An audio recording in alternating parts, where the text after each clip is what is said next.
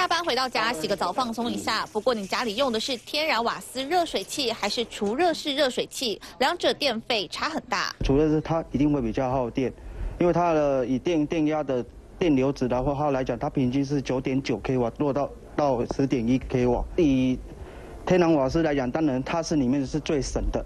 不过有网友透露，看了预售屋的新建案，都用除热式的热水器跟电磁炉来取代传统的热水器跟瓦斯炉，让他担心电费会暴增。天然气热水器跟除热式热水器比比看，冬天一家三口经过两个月的花费，天然气热水器大约一千多块，而除热式热水器要花四千多。